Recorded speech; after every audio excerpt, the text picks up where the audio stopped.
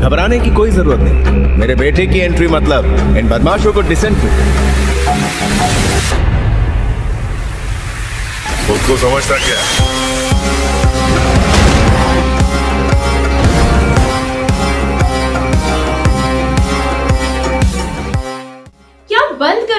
चाहिए स्मगलिंग का धंधा?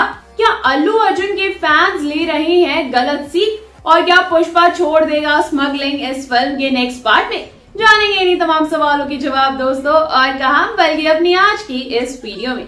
So hello and welcome friends to today's video मैं हूँ अंजलि, और आप देख रहे हैं हाँ हाँ अपना favourite YouTube channel Wallgate Studios दोस्तों, देखिए, सुनिए मेरी बात। फ़िल्म के किसी मशहूर किरदार की वजह से इंस्पायर होना तो समझ आता है। पर अगर कोई किरदार किसी पर हावी हो रहा है और वो इंसान गलत हरकतें कर रहा है, तब तो मामला गंभीर हो जाता है ना। अब आप सोचेंगे कि हम किसके बारे में बात कर रहे हैं? हम बात कर रहे हैं पुष्पा यानी अल्लू अर्जुन की।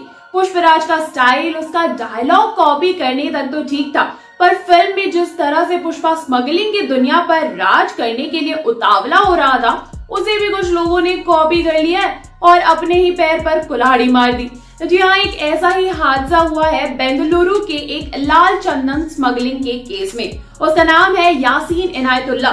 जिस तरह से फ़िल्म में लाल चंदन की स्मगलिंग करना आसान हो, इसीलिए ऊपर मतलब दूध के टैंकर्स रखकर नीचे लाल चंदन को छुपाने की ट्रिक आजमाई गई थी। उसी तरह इस बंदे ने भी असल ज़िंदगी में दूध के बजाय फल और सब्ज़ी के बॉक्सेस रखना शुरू कर दिया और उस बॉक्स पर चिपका दिए कोविड 19 के स्टिकर्स ताकि लोगों को शक ही ना हो। ये बंदा कर्नाटक बॉर्डर तक आसानी से पहुँच जाता था, पर ये बॉर्डर क्रॉस करने के बाद आगे जाकर महाराष्ट्र पुलिस से पकड़ा गया।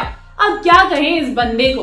पुष्पा तो एक फ़िल्म थी, पर एक कॉपी पेस्ट के चक्कर में उसे अरेस्ट कर लिया है अब पुलिस ने। इसका मतलब ये है कि फ़िल्म में दिखाए गए स्मगलिंग धंधे को काफ़ी लोगों ने कॉपी किया है और खुद को नुकसान भी करवाया है। ये एक गलत सीख थी। वैसे यूँ देखा जाए तो ये बंदा अल्लू अर्जुन का फ़ैन भी था लोग कर लो बात। अब भाई फ़ैन लोग क्या कर रहे हो? कमेंट सेक्शन में कमेंट तो करा नहीं जाता, गलत काम करवा लो इनसे। दोस्तों तो हम तो यही उम्मीद कर सकते हैं कि पार्ट टू में स्मगलिंग की कहानी को खत्म किया जाएगा। मतलब कि पुष्पा को एक पॉइंट के बाद ये एहसास हो कि वो स्मगलिंग का धंधा चलाकर लोगों की जिंदगियाँ बर्बाद कर रहा है। गाँव की युवा पीढ़ी को भी बर्बाद कर रहा है।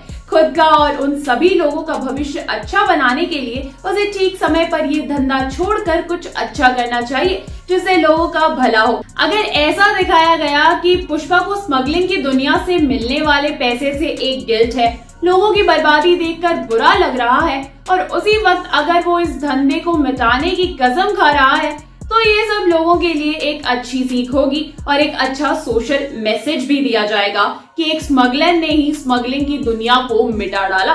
क्योंकि अगर फ़िल्म में ये स्मगलिंग के धंधे को बढ़ाते वक्त कुछ अनोखे ट्रिक्स बताए गए तो पता नहीं और ऐसे कई केसेस हो सकते हैं जो खुद की ज़िंदगी ही बर्बाद कर ले भैया।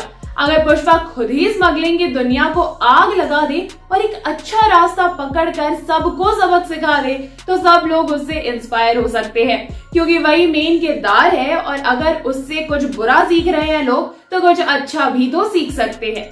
तो देखते हैं कि स्मगलिंग की दुनिया किस कदर पुष्पा टू में खत्म की जाती है और डायरेक्टर सुकुमार किस कदर सोसाइटी को और हमारे यूथ को एक अच्छा मैसेज देते हैं। इसे लेकर आप अपनी राय हमें कमेंट सेक्शन में ज़रूर बताइए। चलिए, आज के लिए इस वीडियो में बस इतना ही। अगर आपको हमारे वीडियो पसंद आया हो तो प्लीज़ लाइक कीजिए और शेयर भी कीजिए। साथ सब्सक्राइब कीजिए हमारे चैनल पॉलीगैप स्टूडियोज को।